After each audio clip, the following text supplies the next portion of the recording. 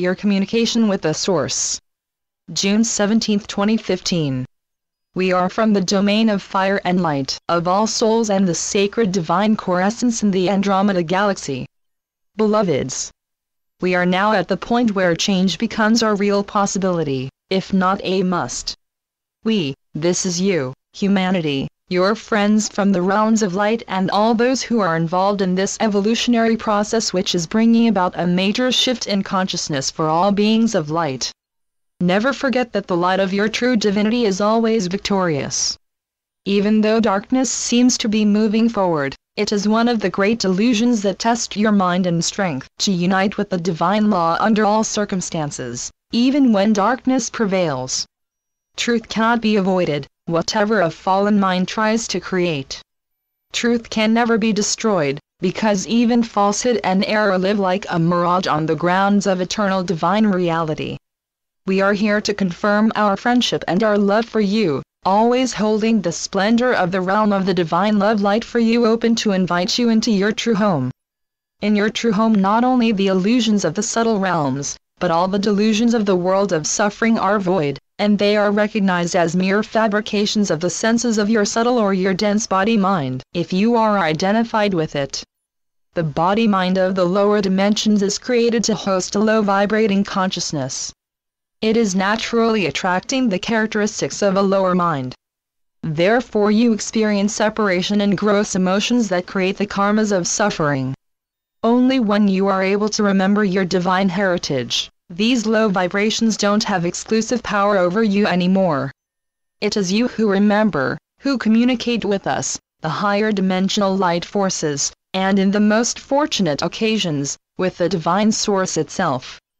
The communication with the source is primarily not verbal, but is, via feeling attention, the recognition of a transparent purity and freedom that is absolute, and which is beyond all the appearances of the conditional realms. You are communicating with a source beyond your body-mind, while no world exists in that moment of communication. This is so because mind does not exist when the source condition is revealing itself to your awareness. It is the eternal divine substance of which all creation is made by creator beings with the means of the mind. Therefore all creation is mind.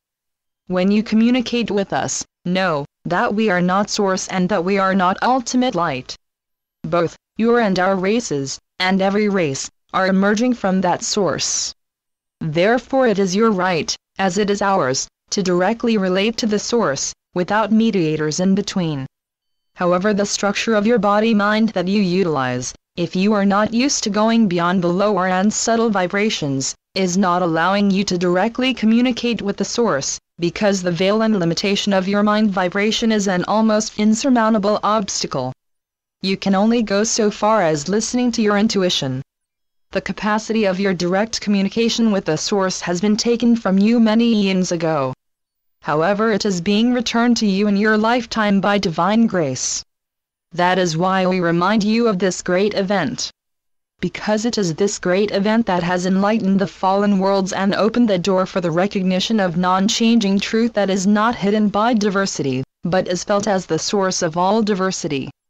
It is the root power that allows for recognition what darkness really is, a mortal phantom that now can be understood as a temporary error of the fallen or unenlightened mind, with only the power that you are willing to give it and this growing clarity in the hearts of mankind makes possible the fundamental shift you all are waiting for. Because real shift needs the eternal and unchanging divine reality to depend on. Otherwise it would be just about another little moving of stones and dimensional point of views. Dearest brothers and sisters, we are one in that one eternity of blissful source. Let's embrace one another in the radiance of that source, and let it be your inspiration.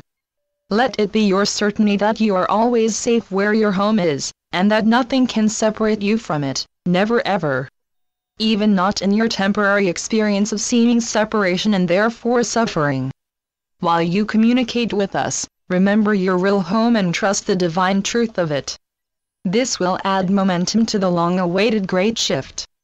We are the light beings from the Andromeda Galaxy.